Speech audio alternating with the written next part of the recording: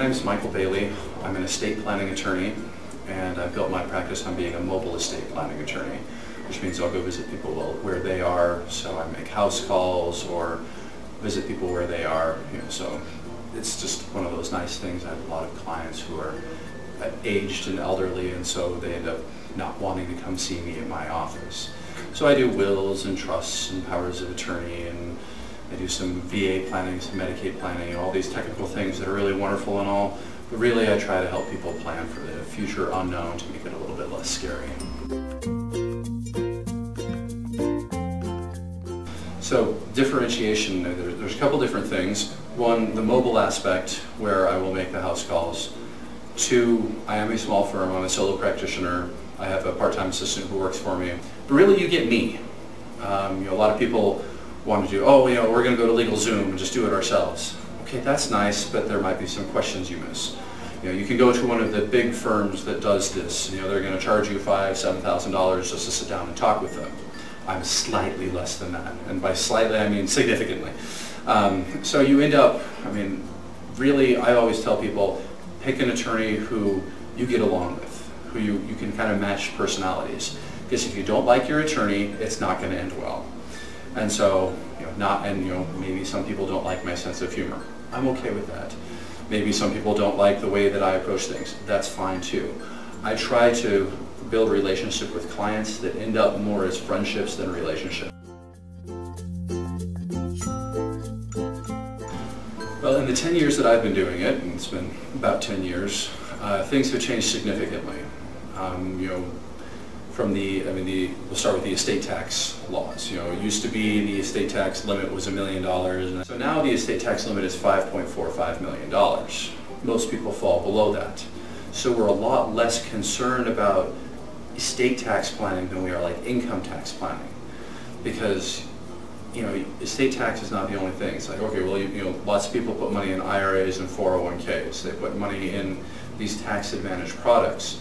And then if they die, the income tax ramifications of passing those on to people is huge. It becomes very difficult. So there's new protections and new ways we have to do things to make sure that we carry out your wishes and not what somebody else wants. Always be open to helping somebody else.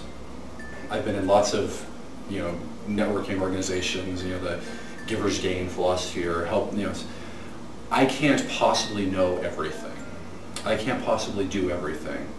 So if I form relationships with other professionals and I understand, okay, you're asking me questions about how to invest money now that we've got this trust set up. I can give you a couple of ideas, but I'm not a financial planner.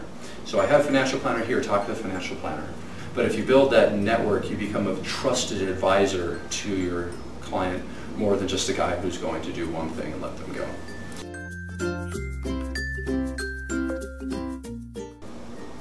It, it sounds very cliche, but treat everybody like they're your most important client.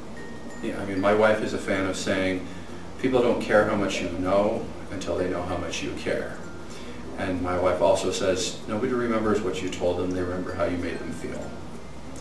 So if I can make my clients feel more at ease about life or if I can make them feel like they're important, that's going, you, you create an emotional connection even beyond the uh, business connection. Why did I choose Office Evolution? Because I had a financial planner friend who's an Office Evolution member up in Broomfield and I learned who they were, and so I have my main base of operations out of there. And you know, it, it worked well for my business model of being a mobile estate planning attorney. But I really like how Office Evolution is set up because, like I said, as a mobile attorney, you know, I'm here in Littleton today. Why? Because my clients live two miles down the road.